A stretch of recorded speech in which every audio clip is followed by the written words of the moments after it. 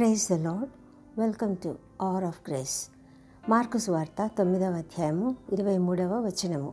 అందుకు యేసు నమ్మి నమ్ముట నీ వలననైతే నమ్మువానికి సమస్తమును సాధ్యమే అని అతనితో చెప్పాను.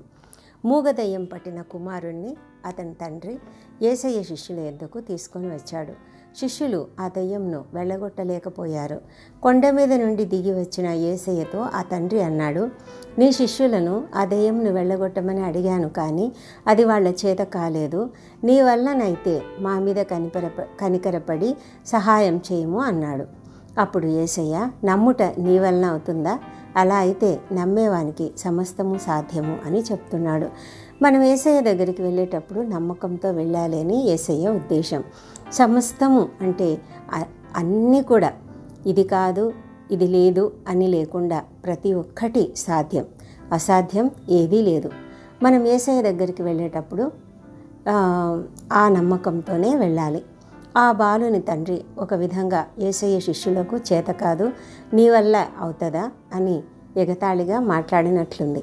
అయితే ఏసయ్య చెప్పిన ఒకే ఒక మాట నమ్ముట నీ వల్లనైతే నమ్మువానికి సమస్తము సాధ్యము అన్న ఒక్క మాటతో అతనిలో పశ్చాత్తాపం కలిగింది. వెంటనే ఆ చిన్నవాని తండ్రి బిగ్గరగా చెప్తున్నాడు నమ్ముతున్నాను నాకు అపనమ్మకం ఉండకుండా సహాయం చేయము అని.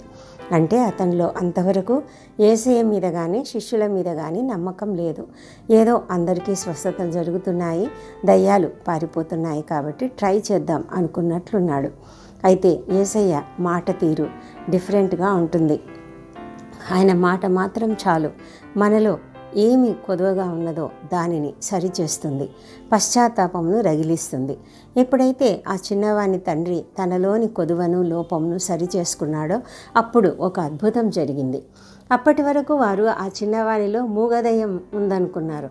కానీ ఆ చిన్నవానిలో మూగదైన మూగాదయం మాత్రమే కాదు చెవిటిదయం కూడా ఉంది. మూగదైన చెవిటిదయం అంటే ఆ చిన్నవానికి చెవిటితనం కూడా ఉంది. అది వారికి ఇంతవరకు తెలియలేదు. వానిలో ఉన్న దయ్యము వానికి మూగతనాన్ని చెవిటితనాన్ని కలిగిస్తుంది. ఎప్పుడైతే మూగవైన చెవిటి దయ్యమా వానిని వదిలిపొమ్ము ఇక వానిలో ప్రవేశించవద్దని నీకు ఆజ్ఞాపించుచున్నానని చెప్పి ఆ అపవిత్రాత్మను ఏసయ్య గద్దించగా అది కేక వేసి వానిని విలవిలలాడించి వదిలిపోయింది. ఆ చిన్నవాడు చచ్చిన వాలి వలె పడి ఉన్నాడు. అక్కడున్న వారందరూ పిల్లవాడు చనిపోయాడని అన్నారు. కానీ ఆశ్చర్యం. ఏసయ్య వాని చెయ్యి పట్టి లేవనెత్తగా వాడు నిలువబడ్డాడు. చూసారా ఏసయ్య మాట ఏసయ్య తాకిడి ఏసయ్య సన్నిధి మనకు మనలో అద్భుతాలు చేస్తాయి. ఆయనను నమ్మితే చాలు. అలాంటి నమ్మకం కలిగి ఉండాలి. ఒకచోట ఏసయ్య నమ్మిక మాత్రం ఉంచు అంటాడు. మనము పరిస్థితులను చూడవద్దు. చుట్టూ ఉన్న మనుషులను చూడవద్దు. వాళ్ళు అనే మాట నెగటివ్ మాటలు వినొద్దు. ఎందుకంటే ఏసయ్యకు మనకు తెలియని సంగతులు అన్నీ తెలుసు. మనం చూడలేని వాటిని ఆయన చూడగలడు. మనకి ఏది కావాలో అది చేయగలడు. దేవునికే మహిమ స్తుతి స్తోత్రము. సర్వోన్నతుడా సర్వశక్తిమంతుడా నీకు అసాధ్యమైనది ఏదీ లేదని బైబిల్ గ్రంథంలో నీవు చేసిన అనేక సూచక క్రియలు అద్భుతములను బట్టి మేము ఎరిగి ఉన్నాము. అయినా నమ్మకం ఉంచడానికి మాకు ఇంకా చేత కావడం లేదు దేవా. ఆ చిన్నవాని తండ్రి అడిగినట్లు మేము కూడా అడుగుతున్నాము. మాలో అపనమ్మకం ఉండకుండా సహాయం చేయము. నీకే స్తోత్రములు తండ్రి. యేసు యేసుక్రీస్తు శక్తిగల నామంలో అడుగుతున్నాం తండ్రి. Amen. Amen. Praise the Lord